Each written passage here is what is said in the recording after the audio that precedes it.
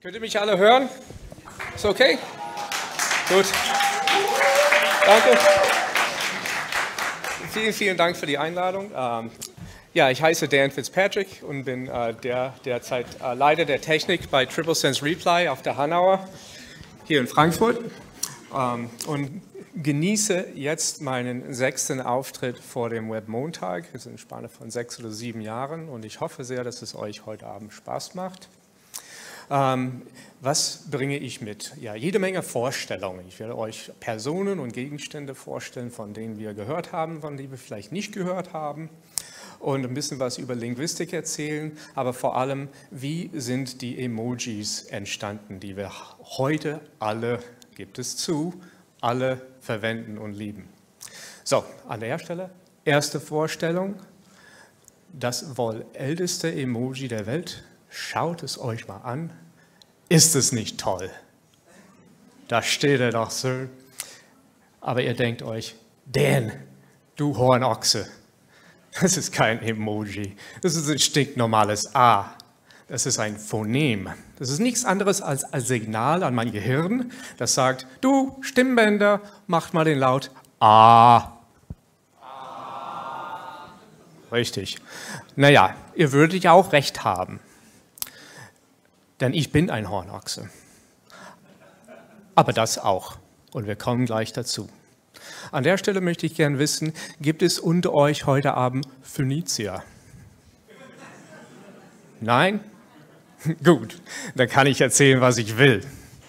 Aber in der Tat ist es eine Hornochse. Im Laufe der Geschichte, dieses ursprüngliche Symbol aus dem Ägyptischen, der Antike entstanden und es ist nichts anderes als ein Rind. Es ist ein Ochse, also ein Hornochse. Und das werde ich euch gleich mal ein bisschen unter Beweis stellen. Erstmal ein bisschen Nerdkram für die äh, ITler unter uns. Eine schöne Darstellung, wie aus diesem Hornochse tatsächlich unsere Emoji A entstanden ist. Im Laufe der Jahrtausende hat es zwar an seiner Bedeutung verloren, aber dieses Tier müsste seinen Kopf für verdammt viele Buchstaben herhalten. Wir haben beispielsweise das griechisch-römische A, das wir alle kennen. Wir haben aber auch das Aleph aus dem Hebräischen. Wir haben Elif aus dem arabischen und persischen Raum. Und die bedeuten tatsächlich Ochsenkopf oder tatsächlich das Horn eines Ochsen. Ja, Jetzt habe ich für euch eine wissenschaftlich anmutende Tabelle, um das ein bisschen zu verdeutlichen. Da könnt ihr mal sehen, wie sich diese Buchstabe im Laufe der Zeit sich entwickelt hat. Es war in der Tat ein Hieroglyph, es war ein Emoji. Es ist nichts anderes als ein Symbol, das etwas darstellt, das die Menschen verstehen. Im Laufe der Zeit hat es natürlich seine Bedeutung verloren. Es ist zu einem Phonem verwandelt worden, aber es ist in der Tat ein Emoji gewesen. So, jetzt werden wir mal äh, ein bisschen vorspulen im Laufe der Geschichte. Nicht 2000 Jahren, wie mir Rüde zugesagt worden ist, als ich das äh, in Probe vorgetragen habe, sondern 2026 Jahren, also 63 vor Christus bis 1963. Wir schreiben ein bisschen Geschichte. Wir landen im Jahre 1963 und zwar in den Nordosten Amerikas. In einer Stadt namens Worcester, Massachusetts. Es fusionierten zwei Versicherungsgesellschaften. Die, den Namen kann ich mir immer noch nicht merken, also State Mutual Life Insurance und auch äh, hat aus Ohio Guarantee Mutual aufgekauft und dementsprechend war das Betriebsklima am Arsch. Die Leute hatten natürlich Angst um ihren Jobs und wussten nicht, wie es weitergeht. Und intern haben sie gedacht, wir brauchen eine Art Werbekampagne, wir brauchen eine Stimmungsmache, einen Aufheller.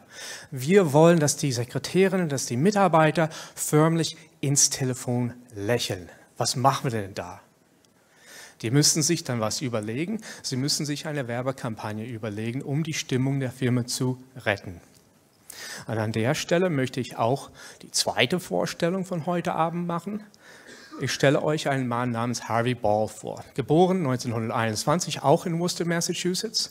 Äh, das, äh, der ist, hat äh, Kunst studiert in Worcester und wollte seine eigene kleine Werbefirma gründen. Ähm, der ist aber ähm, in die Pazifik geschickt worden während des Zweiten Weltkriegs und kam als dekorierter Soldat zurück.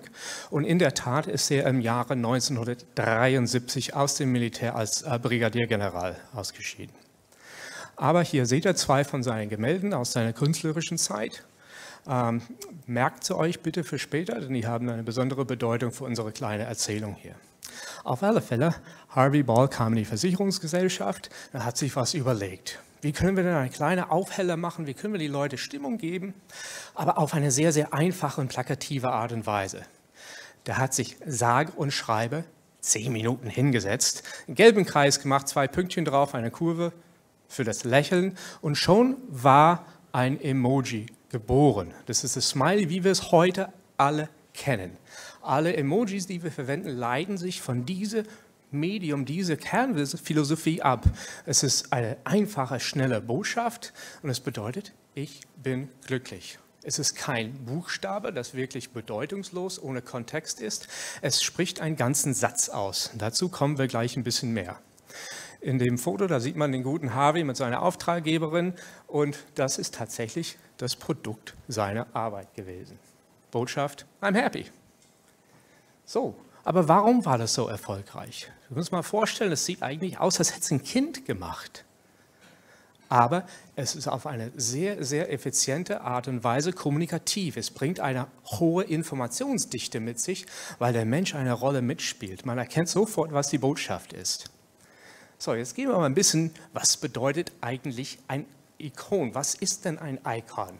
Äh, wir gehen mal ein bisschen ins Detail äh, rein, aber im Grunde genommen ist es so eine Art komprimierte Emotion, ist es ein Medium, wo der Mensch die Arbeit macht. Der guckt sich das mal an und unser Gehirn schaltet sich ein und aus religiösem, kulturellen oder irgendeinem Kontext wird, werden die Lücken gefüllt. Dann kommt die ganze Botschaft ans Tageslicht sozusagen. Sie abstrahieren alles. Sie können alles Mögliche darstellen. Ist es ein Auto oder ist es eine Handlung? Speichern beispielsweise, kommen wir gleich dazu. Emojis, so wie sie heute verwenden, sind witzigerweise auch Buchstaben. Also es kehrt sich mal ein bisschen zurück. Das, was ihr da seht, ist nichts anderes als ein Buchstabe, ist ein Icon in dem Schriftsatz Emojis. Hier ist es auf eine sehr, sehr hohe Schriftgröße vergrößert, damit ihr sehen könnt, was für ein Wahnsinnsdetail dahinter steckt. Aber da ist auch eine weitere Botschaft drin. Wenn wir uns dieses Symbol angucken, hm, nehmen wir mal die Komponenten, zwei Flügel und ein Bündel Dollarnoten, es ist bedeutungslos. Aber gekoppelt zusammen übermitteln sie aus unserem Kontext, unserer Vorstellungskraft eine Botschaft. Ich habe mein Geld verschwendet, mein Geld ist zugeflogen, es ist weggeflogen, je nachdem. Aber es ver vermittelt viel mehr Informationen, als einfach eine Buchstabe darstellen könnte.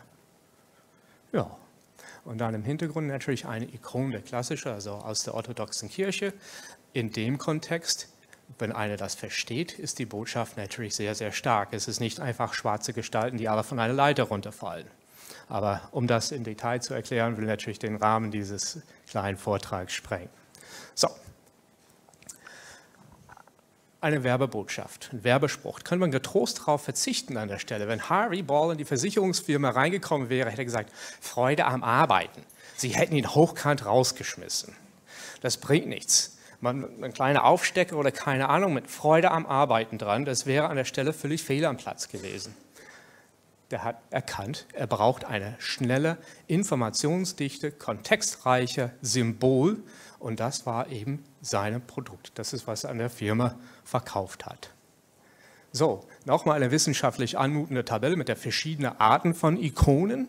Erstens haben wir unsere Ochsenkopf A, das mittlerweile bedeutungslos ist. Es denkt keiner darüber nach, dass es tatsächlich ein Rind gewesen ist. Aber das zweite ist sehr, sehr interessant an der Stelle. Es ist eine Diskette. Es ist ein Gegenstand, das es in unserem Alltag kaum noch gibt. Jeder, der sich das aber anguckt im Rahmen einer Softwareanwendung, weiß sofort, was bedeutet. Speichern. Save. In allen möglichen Sprachen der Welt. Auch wichtig, Emojis und Ikonen sind sprachunabhängig. Wenn man das sieht, weiß man sofort aus dem Kontext, was gemeint ist, obwohl es ein Gegenstand ist, was gar nicht mehr gibt. Wir sind den ersten Schritt der Abstrahierung gegangen, den unser Ochsenkopf auch durchmachen musste. ist ein Gegenstand, das es nicht mehr gibt, aber die Bedeutung überlebt als Ikon. Ein klassisches Emoji, lieber, jeder weiß, was das bedeutet.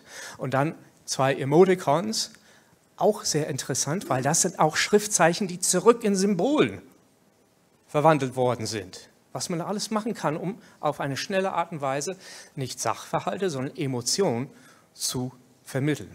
Und das Letzte, wenn man sich vertippt, hat man natürlich ein Walross als Emoticon reingegeben. Da gab es auch eine Tastenkombination. Ich habe das immer gemacht. Aber es gab nur einen Mensch auf der Welt, der das tatsächlich machen durfte. Das war natürlich John, John Lennon, der Walross. Emojis bilden Sätze. Wenn wir das sehen, wir tippen es in unser Handy rein, da kommt sofort die Botschaft rüber. Ich bin traurig, ein Satz. Ich bin krank. Ich bin glücklich. Ich bin erschrocken. Ich bin ein Spiegelei. Na gut, es greift nicht immer, aber manchmal. So. 45 Dollar hat der gute Harvey für seine Arbeit bekommen. Das war's. Aber daraus ist tatsächlich Ruhm und Ehre geworden. Er ist international weltweit anerkannt als Erfinder des Smileys und dann im übertragenen Sinne natürlich von Emojis. Ähm, es gibt alle möglichen Merchandising-Produkte, Kaffeetassen, Aufstecker, Reizwäsche, alles Mögliche mit Emojis und Smileys drauf. So. Aber weder Harvey noch die Versicherungsgesellschaft haben die Nutzungsrechte für dieses Symbol gesichert. Im wahrsten Sinne des Wortes war das ein Open-Source-Produkt. Nur Damals hat natürlich niemand das Wort benutzt. Es war aber Open Source und es ist dementsprechend kopiert worden. Aus der ursprünglichen Auflage von 100 Aufstecker wurde 1000, dann 50.000 und dann 50 Millionen tatsächlich. Und die wurden weltweit vertrieben. Das ist ein Milliardengeschäft mit diesem Symbol gewesen. Sein Sohn Charlie soll ihn eines Tages gefragt haben, hey Dad, warum hast du nicht mal die Rechte für das Ding gesichert? Er soll immer gesagt haben, pass auf, ich kann jeweils nur ein Steak essen, ich kann nur ein Auto fahren. Was will ich denn mehr? Der war ein genügsamer Mensch, unser guter Harvey. An der Stelle würde ich auch gerne mal ein bisschen auf sein Familienleben eingehen. Der Zusammenhang ist ganz, ganz witzig. Seine Frau hieß tatsächlich Winifred Ball, fand ich schon mal interessant. Und sie, obwohl ich das nicht gewusst habe, es ist sicherlich auch nicht überliefert, hat sicherlich immer gesagt, ach Harvey, du Hornochse.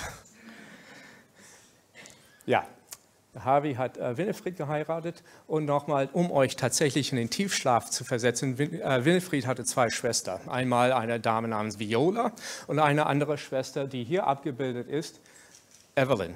Beide mit Mädchennamen Trudel. Evelyn hat auch geheiratet und um das Geheimnis zu lüften, ihr Mann war Robert Joseph Fitzpatrick, mein Großvater. Ja.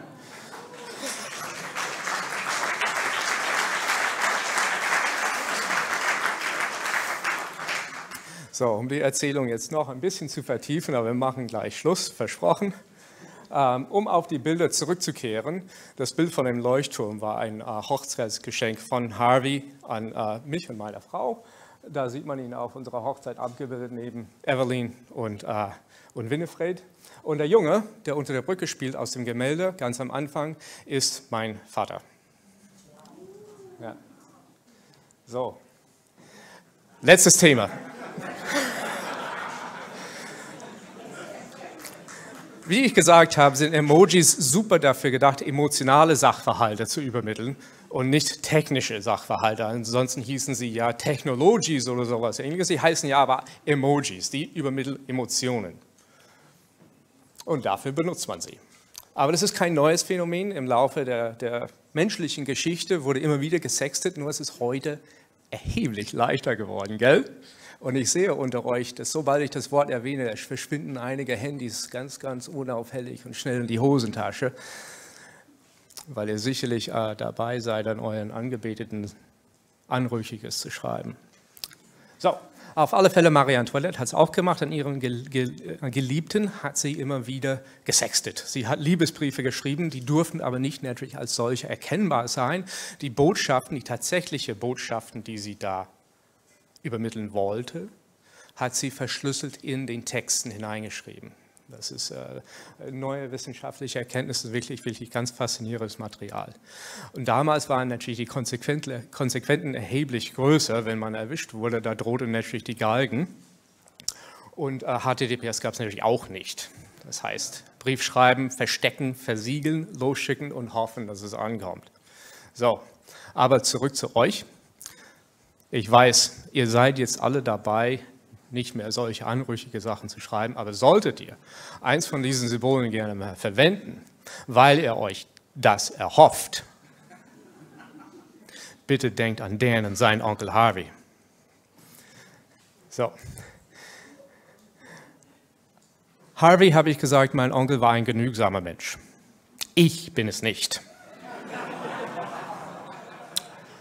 Deswegen äh, damit mich meine Frau nicht Hornochse nennt, habe ich mir überlegt, als sein Erbe, ich sichere mir die Nutzungsrechte für die Emojis und für ein geringes Gebühr von nur 1 Cent pro Nutzungsfall könnte sie natürlich weiterhin verwenden. Ich danke recht herzlich.